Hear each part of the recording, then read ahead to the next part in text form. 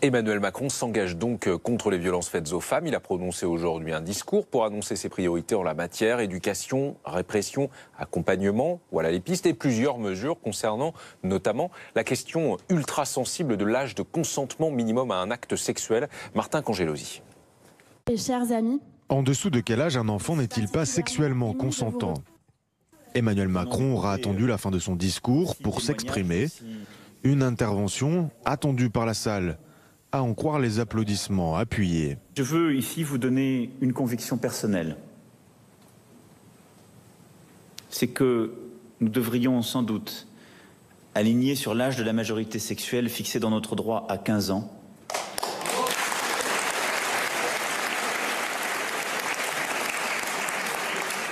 Par souci de cohérence et de protection des mineurs, cette présomption. Le chef de l'État se distingue de sa ministre de la Justice, qui penchait davantage pour le seuil des 13 ans.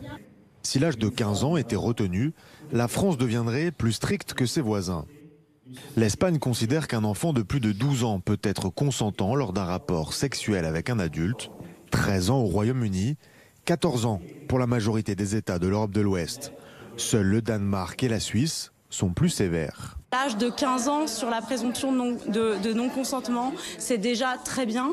Euh, mais quid euh, des situations particulières d'inceste ou lorsque l'agresseur a autorité sur la victime, où là, peut-être, on pourrait euh, avoir un âge encore plus élevé. Moi, je pense que 18 ans serait bien, notamment dans les situations d'inceste. Un débat qui se poursuivra au Parlement. La loi devrait être adoptée courant 2018. Bonsoir Céline Pic. Bonsoir. Soyez la bienvenue. Vous êtes porte-parole de l'association Oser le féminisme. D'abord, est-ce que vous validez l'esprit, la philosophie du plan présenté par Emmanuel Macron aujourd'hui? Nous, nous l'attendions euh, depuis euh, longtemps, puisque c'était euh, la grande cause annoncée du quinquennat. Et ça l'est officiellement depuis aujourd'hui, donc Voilà, et donc on attendait énormément d'annonces. On peut dire que l'on est déçu euh, par rapport aux moyens qui sont alloués à ce plan, puisque... Donc il y a deux choses, pardon. il, y a, les annonces et il y a le budget, l'argent. Les annonces, est-ce qu'elles vous satisfont? Alors les annonces, un certain nombre d'annonces avaient déjà été faites. Donc pour euh, donc il y a trois axes euh, prioritaires dans, dans ce qui a été dit par Emmanuel Macron. Le premier volet, c'est concernant l'éducation et la déconstruction des stéréotypes. Le deuxième concerne l'accompagnement des victimes. Et le troisième volet, l'aspect répressif. Donc il y a un certain nombre de, de mesures qui avaient déjà été annoncées par Marlène Schiappa, la secrétaire d'État chargée de l'égalité femmes-hommes, ainsi que par la ministre de la Justice, en, particulier donc la création d'un âge en dessous duquel euh, il y aurait présomption de non-consentement et euh, donc la, suppression euh, du délit d'atteinte sexuelle en dessous d'un certain âge. Emmanuel Macron plaide pour fixer l'âge de consentement minimum à un acte sexuel à 15 ans. Ça vous va ou pas? Oui, il y a un débat en fait, effectivement entre 13 et 15 ans. L'important, c'est que ce seuil soit créé. Ensuite, je pense que c'est aux associations de terrain qui, qui accompagne justement les victimes de pédocriminalité euh, euh, de, de, de, participer au débat et de trancher euh, entre, entre 13 ans qui est préconisé par le Haut Conseil à l'égalité et 15 ans dont, dont on parle aujourd'hui. il y a un certain nombre d'autres mesures qui ont été effectivement rappelées mais qui avaient déjà été annoncées. La création de... D'unités hospitalières pour euh, la prise en charge psychotraumatique des femmes victimes de violences, notamment Alors, ça, ça existe déjà. Je pense qu'il annonce l'amplification de ces choses-là.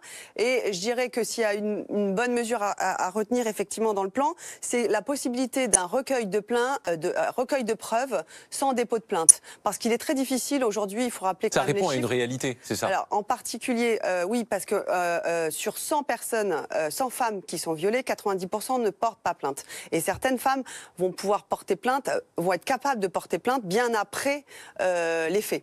Donc c'est la possibilité pour les équipes médicales de faire un recueil de preuves euh, quand cette, cette, femme victime arrive dans une unité de soins et ces preuves puissent être conservées si quelques mois, même euh, ou plus tard, elle décide de porter plainte euh, plus tardivement euh, quand elle s'en sent capable.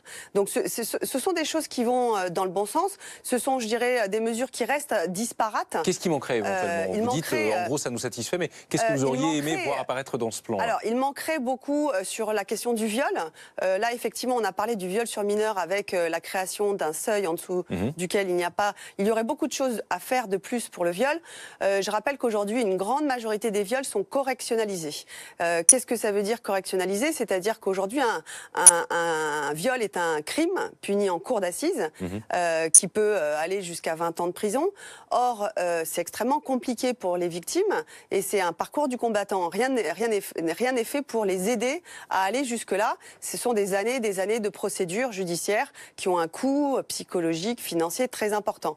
Et donc, beaucoup des viols sont correctionnalisés, c'est-à-dire transformés en des délits d'agression sexuelle. Et donc, beaucoup de viols euh, écopent finalement de, peines extrêmement légères parce qu'ils sont jugés comme des agressions sexuelles. Ça, c'est un problème central qu'on rappelle depuis des années, qui n'a pas été évoqué dans le, discours de Macron, euh, qui fait que des violeurs aujourd'hui, qui devraient être condamnés à de la prison ferme, s'en tirent avec une condamnation, mais avec une amende, euh, avec six mois de sursis, enfin avec des peines extrêmement légères aujourd'hui. C'est un gros problème sur la façon dont euh, notre société traite euh, le viol. Au début de votre intervention, vous avez dit euh, très bien, ok, les mesures. En revanche, on ne met pas les moyens. euh, Mm. Oui, je- d'appliquer ces mesures. Si vous le permettez, on écoute euh. Marlène Schiappa, qui était l'invitée euh, de Céline Pitlet euh, avant cette émission, et vous réagirez ensuite. Sur le budget, ce qui a été dit est faux. Ça n'est pas vrai que le budget était précédemment de euh, 29,8, puisque précédemment, entre 2012 et 2017, le budget des droits des femmes n'a jamais, jamais été exécuté au-delà de 22, voire une fois 23 millions. Donc il y a une augmentation de 7 millions pour ce budget. On peut ne jamais se satisfaire de rien, mais on peut aussi saluer les moments historiques tels que la prise de parole du président, les politiques publiques fortes d'impulsion qu'il donne et l'augmentation du budget. Alors, euh, on va faire un petit point sur le budget pour euh, parce que là il y a trop beaucoup de- techniques hein, au passage, sans si être possible. trop technique, sans être trop technique, juste pour essayer de mettre des ordres de grandeur. Mhm. Donc là, on est en train de discuter de savoir effectivement 22 millions, 29 millions. Je rappelle que 22 millions ou 29 millions dont on parle, ça représente 0,007% euh, du budget de l'État. C'est-à-dire que le secrétaire d'État euh, a le plus petit budget de tous les ministères et des secrétaires d'État. C'est une somme ridicule. Avec cette somme, on est supposé faire de la formation euh, des enseignants, la formation des personnels en crèche, la formation des personnels judiciaires, la formation des personnels policiers. Enfin, il y a tout un tas de mesures de prévention, de Pour vous, en gros, on n'y arrivera pas avec si peu qu'on n'y d'argent arrivera pas avec si peu d'argent. Si on veut faire euh, un- une comparaison, par exemple, avec ce qui se passe en Espagne, en Espagne, ils ont fait un vrai plan. Et un vrai plan, ils ont mis un milliard sur cinq ans sur la table. Mhm. Donc, on peut, euh, co- comme ça, essayer de- de- de- de- d'expliquer les chiffres 20 22 ou 29. La question n'est pas là. Nous, là, et là, la déception est grande. C'est qu'on espérait pour une grande cause du quinquennat, un vrai budget dédié avec des vrais moyens pour développer effectivement ces plans de formation des professionnels qui ont un lien avec les, victimes de viol et puis euh, tout, un- tout un tas de financements pour les associations de terrain. Aujourd'hui, les numéros d'appel sont totalement submergés par les appels depuis la libération de la parole, euh, depuis l'affaire MeToo. Euh, elles, elles fonctionnent, ces associations de terrain, euh, de façon totalement héroïque puisqu'elles ont très très peu de moyens.